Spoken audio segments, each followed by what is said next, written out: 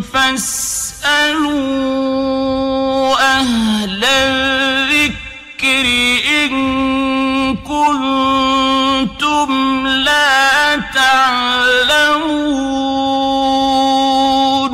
عليكم السلام ورحمة الله وبركاته.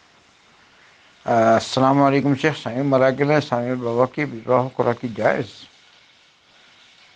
جزاك الله خيرا. لا لا. স্বামীর বাবা, স্বামীর নিজের বাবা মাহরাম।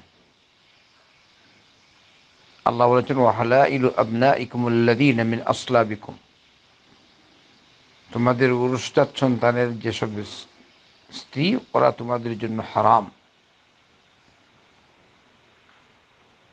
ওরা তোমাদের জন্য হারাম। ওরা আর হালাল হবে না। ওরা হারাম। তবে যেমন স্বামীর